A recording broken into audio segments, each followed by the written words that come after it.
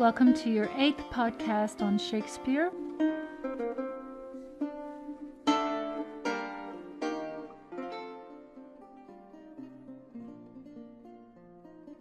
We just looked at the chronology of Shakespeare's plays and talked about the possible dating of the plays.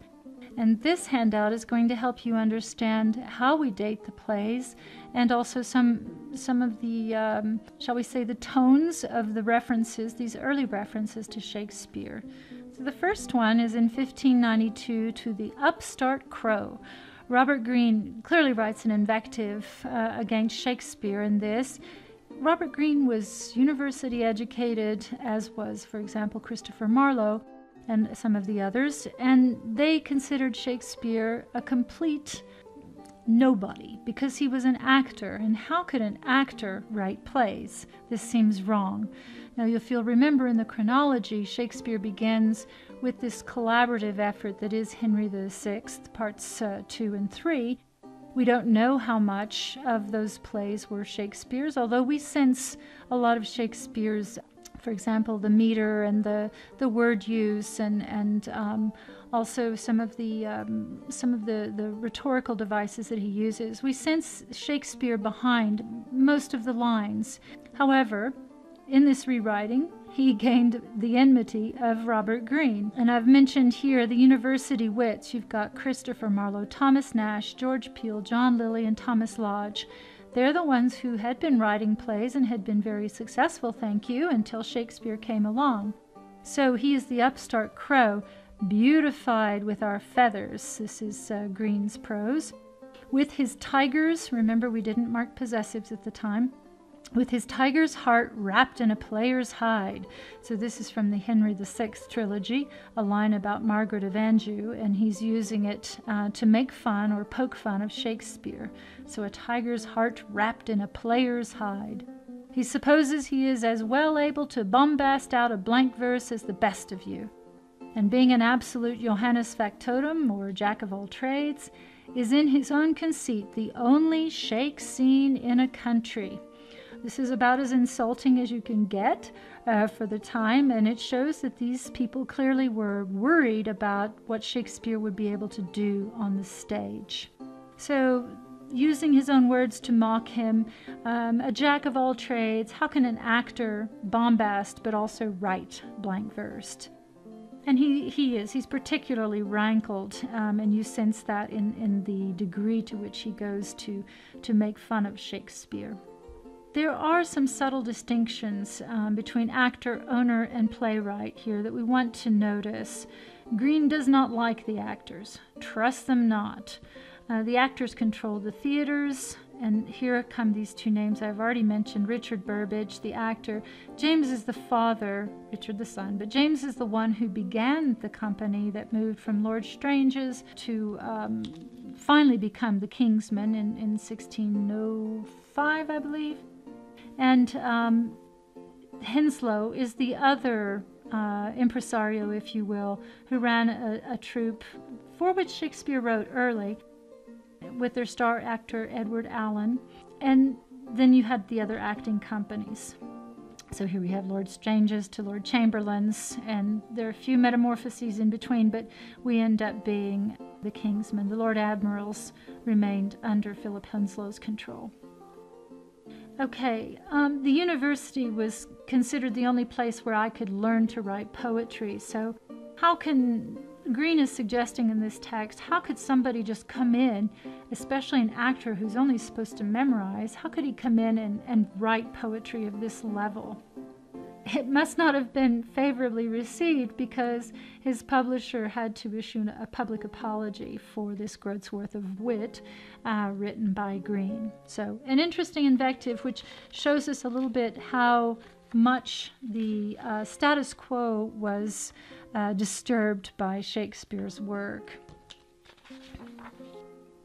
Another early reference is from uh, Thomas Nash. Here he's pictured as a jailbird. He got in quite a bit of trouble, but he writes a defense of the theater. And in it, he talks about Shakespeare's and perhaps his, because he may have been one of those hands working on Henry VI, Part 1, where he talks about the famous hero Talbot, uh, one of Shakespeare's few unequivocal heroes, military heroes. Um, here you have the reference. And, and um, this is in his book, Pierce Penniless, his supplication to the devil, but he's defending the theater in this.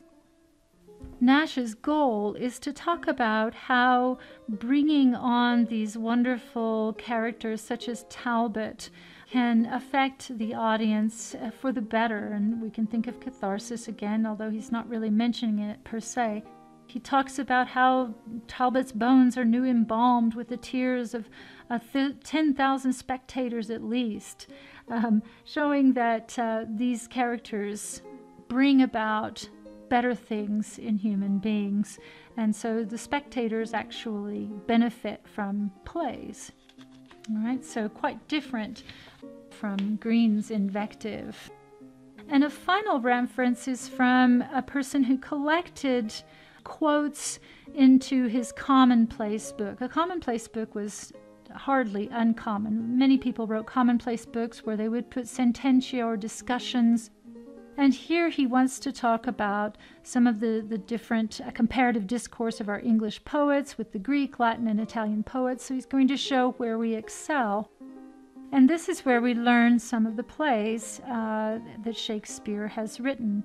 So he talks about the mellifluous and honey tongued Shakespeare, witness his Venus and Adonis, his Lucrece, his sugared sonnets among his private friends, etc etc., is, is uh, highly suspect, by the way. You might want to pay attention to when it's used. Plautus and Seneca are accounted for the best, accounted the best for comedy and tragedy among the Latins. So Shakespeare among the English is the most excellent in both kinds for the stage. So he is considered, 1598, the most excellent. Here we have Gentleman of Verona, his errors, his labors lost, and his labors won, probably much ado. His Midsummer Night's Dream, his Merchant of Venice, his Tragedy of Richard II, Richard III, Henry IV, King John, Titus Andronicus, and Romeo and Juliet. So we have a nice listing of the plays with which this reader, Francis Meres, was familiar in 1598 and which he could judge. All right, so we, in fact, through this uh, handout, you see the movement from um, invective aimed at Shakespeare for his upstart crow behavior, taking over the the writing of plays after having been an actor. And again, we don't know how long Shakespeare had been acting, but he was an actor before he was a playwright.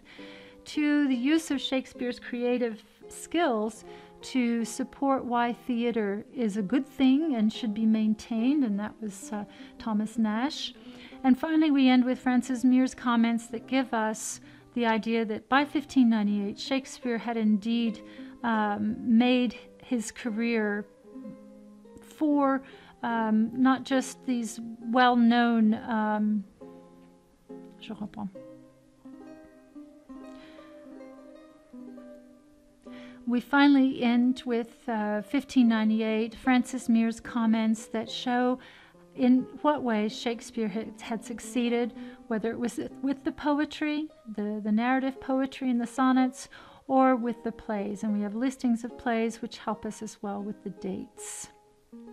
And that concludes your session on early references to Shakespeare.